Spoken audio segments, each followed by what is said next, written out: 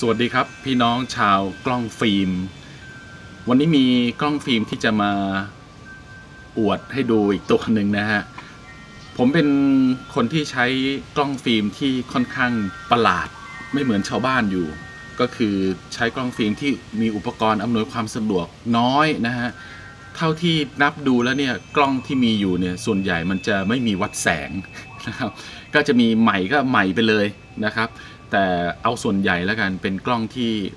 ค่อนข้างที่จะเป็น mechanic แล้วก็ไม่มีวัดแสง เมื่อวานนี้ไปได้กล้องมาใหม่ตัวหนึ่ง เป็นกล้องสัญชาติเยอรมัน ซึ่งปัจจุบันนี้เนี่ยกล้อง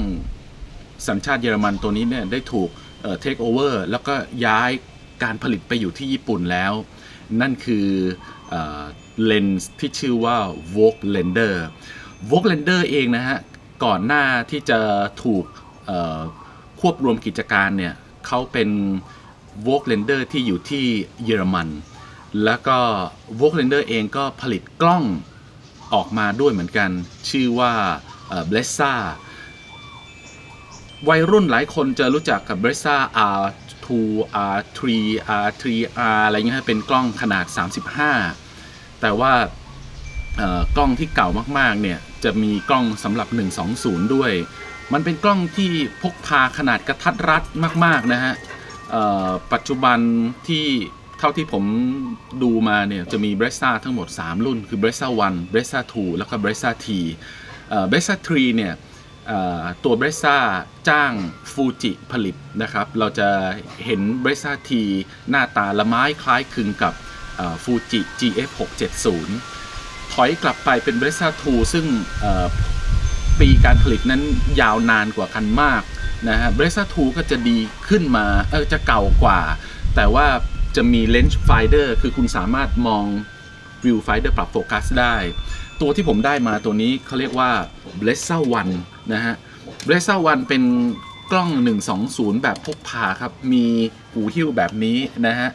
แล้วก็เราสามารถที่จะ แนบใส่กระเป๋า เพราะว่ามันจะบาง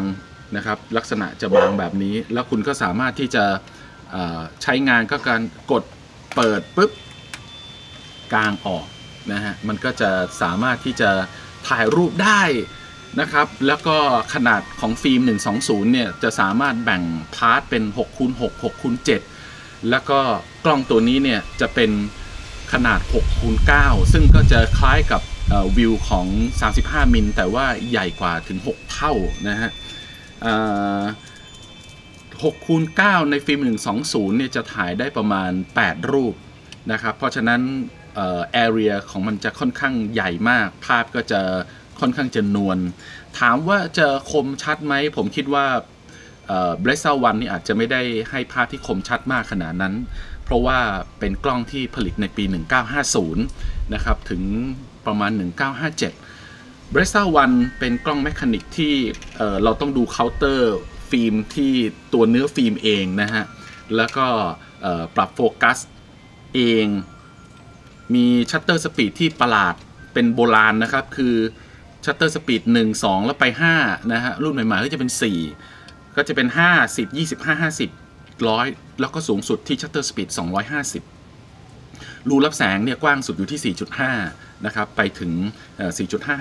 5.6 8 แล้วก็ไม่ได้เป็นคลิกนะฮะ เป็นแบบแปนแบบภาพยนตร์นะฮะ คือใช้เลื่อนเอา ก็จะมีความสนุกสนาน การเลื่อน shutter speed นะครับ เราต้องหมุน แล้วก็โยก shutter speed ไว้ข้างหน้า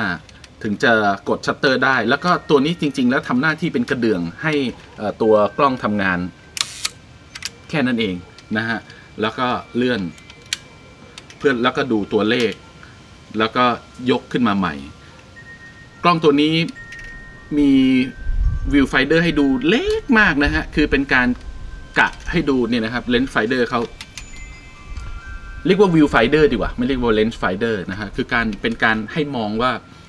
ภาพประมาณนี้นะเท่านั้นเองนะฮะโฟกัสไม่มีวัดแสงไม่มีไม่มีอะไรเลยนะฮะ แต่ว่า ความสนุกมันอยู่ที่ตรงที่มันไม่มีอะไรเลยเนี่ยนะฮะเราก็จะใช้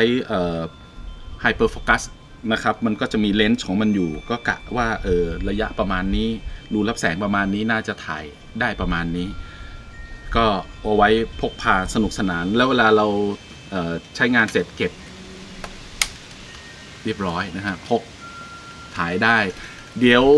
ถ่ายภาพเสร็จยังไงจะกลับมารีวิวอีกครั้งหนึ่งเพราะว่าอันนี้เพิ่งได้กล้องมาสภาพค่อนข้างดีมากนะฮะ ยังมีหนังเนี่ยยังมีความชัดเจนแล้วก็มีตัวหนังสือที่เขียนว่า Vogue Render ยังชัดเจนอยู่นะครับ ไม่มีการตกหล่นไม่มีอะไร เรามาลองดูกันนะครับว่าผลของการถ่ายภาพของกล้องตัวนี้จะเป็นอย่างไรบ้าง